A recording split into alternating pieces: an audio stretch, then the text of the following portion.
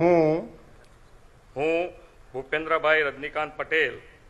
ઈશ્વરને નામે સોગંદ લઉં છું કે? ઈશ્વરના નામે સોગંદ લઉં છું કે? હું હું ગુજરાત રાજ્યના મુખ્યમંત્રી તરીકે? ગુજરાત રાજ્યના મુખ્યમંત્રી તરીકે. જે કોઈ બાબત જે કોઈ બાબત મારી વિચારણા માટે લાવવામાં આવશે? મારી વિચારણા માટે લાવવામાં આવશે?